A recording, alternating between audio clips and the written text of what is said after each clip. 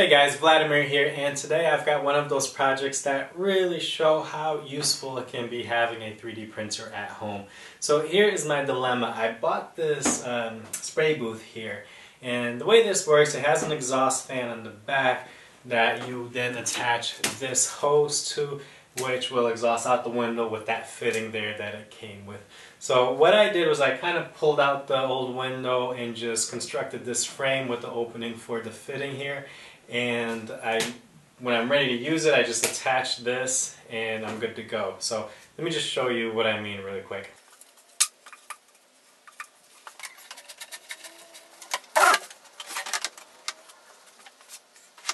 So there it is, attached, ready to go. I can go ahead and do my spray painting.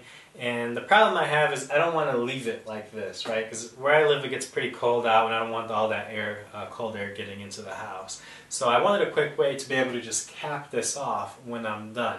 So the approach I took was that I uh, used Fusion to model this cap. And I modeled it so that it has threads that match the threads to the fitting there. So when I'm done, I can just thread this on there and cap off the, um, the opening. Um, now Fusion has a way that you can go in and just choose if you know the thread profiles you want to use, you can just go ahead and select it and model your threads that way. In this case, I don't know uh, what the thread profile is for this or if there even is one. Um, so the approach I took was to use the coil feature uh, to make my own custom threads. So I just took some measurements um, from that fitting and applied it to my, um, my model. So um, let me go ahead and show you how I attach this.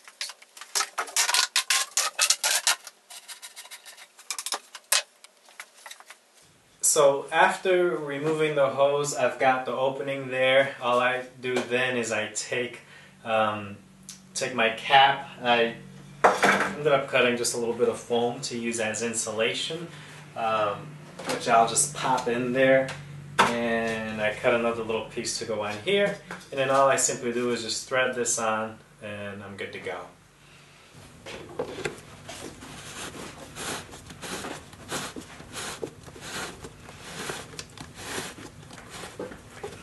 So there you have it, and that's a quick fix, and that's exactly what I was looking for. Um, I, all I have to do is thread that in, and my basement now can stay warm. So let me go ahead and jump into Fusion, and I'll show you exactly how I tackle this. I'm going to begin by creating a sketch on the XY plane.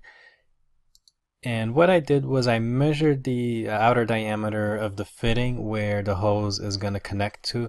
I'm going to model the threaded cap to fit around this piece. As you can see, I have a diameter here of 108 millimeters. After a few trial and error, I found that designing my cap at 110 millimeters gave me a nice fit. So what I'm going to do here is uh, just go ahead and click C for circle, create a circle, give it a diameter of 110 millimeters. I'm going to go ahead and click stop sketch and we'll go ahead and extrude this uh, get the orientation right we'll extrude this to 40 millimeters and this is going to be sort of the um, just the outside of the cap here that's going to be threaded in um, next I'm going to uh, go ahead and shell this out so we'll go ahead and choose modify shell. I'll click the top here. And I'm going to want outside for direction and I'm just going to give it a 2 millimeter shell. And here's a trick I actually didn't learn until um, using Fusion for a while. Uh, if you want to shell any additional parts, for example, I don't want the bottom here, all I have to do is hit Control or Command on a Mac and choose that bottom part and that'll get rid of that as well. Okay, now that we have sort of our, our outer part, let's go ahead and put the, uh, the threads in. So to do that, I'm going to uh, create a coil. So I'm going to go to Create, Coil, and I'll choose that same plane, and we'll go ahead and give this the same diameter of 110 millimeters. Now it looks a little funky right now, but we'll take care of that. So let's look at the dialog box here. Um, after choosing your plane, um, it, the first thing it's going to ask you for is how do you want to define this? And you have a few options here. I'm going to go with a revolution and height. So we'll do that because those are the numbers I know um, that I have. Um, so we'll go ahead and as far as diameter, I've already set that. I'm going to choose three revolutions. Uh, it's just what I felt was good for this application. You know, you can change it to serve uh, whatever it is that you're doing. Um, for height, I'm going to go ahead and choose 39 and I'll explain that. Um, so what I did is I measured the distance between um, the two revolutions, as you can see here, and that gave me a measurement of 26. So with that distance of 26, I figured out that I've got uh, 13 millimeters as distance between revolutions. So I want three revolutions. So all I did was I took uh, 13 times 3, and that gives me a height of 39. Angle is going to stay at 0. Section, I have a few choices here. Um, I can choose um, circle, a triangle. Um, you know what, let's go ahead and finish the rest of this. That way when I select these, you'll see what's going on. So um, I'm going to choose, we'll come back to this. I'm going to choose section size of 6.5 and from cut I'm going to go to new body. Okay, now we have something um, visual. And what I'm going to do is expand um, bodies here and just uncheck this so I can just see the coil right now. Okay, so we left off at, we did high uh, angle was going to stay at zero, so I was showing you the different sections. So you can see all, all this does is we can go uh, a circular coil, square coil, and then we have the option of going um, external uh, triangle or internal. And that's just where you want, you know, um, sort of the pointy edge of the um, triangle, uh, either internal or if I choose external, it'll just um, uh, switch to the outside. Uh, external. But in this case, I want internal um, because I want the threads to be uh, on the inside. So let's let's change that back.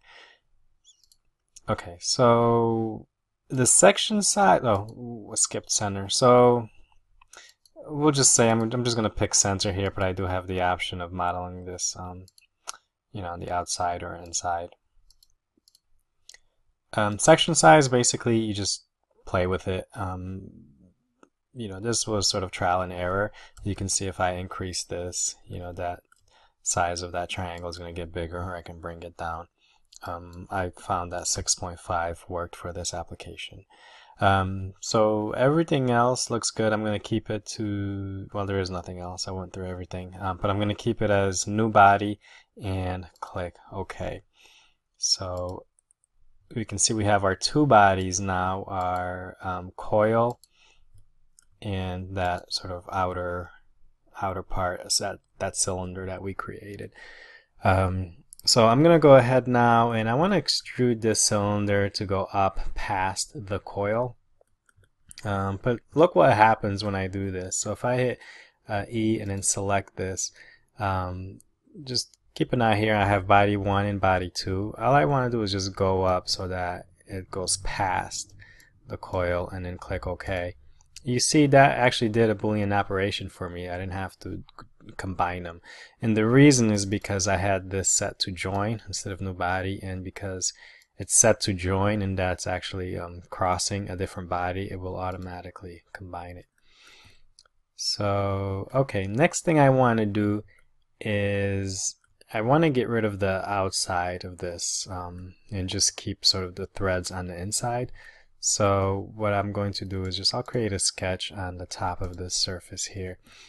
And I'm just going to make a circle bigger than my existing uh, cylinder here and stop sketch. And I'm just going to choose just that outer uh, profile hit E for extrude and I'm just going to bring that all the way down to cut so that gives me a clean cut on the outside and I have my thread on the inside and I'm going to go ahead and go ahead and uh, give this a bottom so what I'll do is, let's see, how should I tackle this? All right, I'll just create a sketch here. Um, I'll select this profile here and I'll create another circle. I'll just go a little bit bigger. Um, 130 sounds good. And I'm gonna I want to select the whole thing to extrude it out. So you have to be careful here because the thread in there or the coil does sort of a funky shape. So to make sure we select everything, I'm gonna uncheck bodies um, and then go in and select both of these profiles. Okay, so that looks good. Now I can bring bodies back. Me come down, I'm gonna say five millimeters and change this from a cut to a join and click OK. Okay, now I'm going to just go ahead and put a little fillet here. Uh, 10 looks good. And that looks pretty good. One thing I wish I had done on the last one I printed was uh, it would have been nice to have sort of like little finger holes in here to get a nice grip while I'm turning. Um, so yeah, why don't we just go ahead and do that? It, it'll be pretty simple. So I'll just go ahead and create a sketch on this this profile here. I'm just going to drop a circle in here. Um, let's say maybe 15 or maybe 20. 20 for diameter looks good. I'm going to bring this down just a little bit um, to overlap my circle. And why don't we just align it with the middle there with our center. So I'm going to grab our horizontal vertical constraint, click on the circle, and then choose my origin here. And that'll go ahead and constrain it so I can move it up and down, but not side to side. Um, so I'm just going to get this about right here. Looks good. Um, stop sketch, and I'll just go ahead, oops, select this profile oops, hit E for extrude, select the profile, and I'm just going to go ahead and cut all the way up. Alright, sorry, let me get this right. Alright, so that looks good. I'll click OK as a cut, and I'm going to hit F for fillet and just do a little fillet on these edges here. Uh, that looks good. And then I'm just going to go ahead and create a circular pattern of that. So we'll go ahead and choose Create. Um, pattern, circular pattern, and I'm gonna choose uh, features. Yeah, features as a pattern type, and as far as objects, I'm gonna select the right from my timeline. So I'm gonna choose the fillet and the extrusion in my axes. Um, I want this blue axis here. If you're having a hard time selecting it, just uncheck the bodies and then choose it and then bring your body back. And now I can just go ahead and tell it how many I want so I can just increase this arrow here. And you'll see it'll put a check mark in each location that it's going to go ahead and make that feature. Um, 10 looks good. I'm going to click OK. And yeah, that looks a lot better. That will give me a nice little uh, grip to be able to turn that. So, okay, um, last thing I'm going to do is on these uh, triangles, because of um, the nature of, of how um, the fitting is, it, it, it's more rounded than it is um, this triangle shape. So I'm just going to go ahead and apply a fillet on this just to have it match a little better. So I'm going to do a fillet of 2 millimeters and I'm just going to do one final fillet here just to kind of smooth this out to give it a nice transition. So I'll choose a fillet of one millimeter there. And that's it. There's our threaded cap. After printing my original threaded cap, I wasn't able to get it to thread. And I realized that the problem was that I modeled the threads going the opposite way of what they needed to be. Um, so if you take a look at my coil here um, and the direction it's going, I need to reverse that and make it go the other way. Um, so that's an easy fix. All I have to do is just come down to my timeline, uh, go ahead and activate my coil feature here by just double clicking. And there's this rotation button here. Now if you take a look at the direction of it, I can go in and press the rotation button and it's going to flip it to go the other way. So you can just toggle this back and forth um, to get the direction you need and then just click OK. And that was all I needed to do. Once I did that, reprinted it, it was able to thread fine. Um, so just be conscious of the direction you need to go when you're creating your coil um, so that it'll work in the end. Now, I don't want to leave you with the impression that I did this all in one try, so...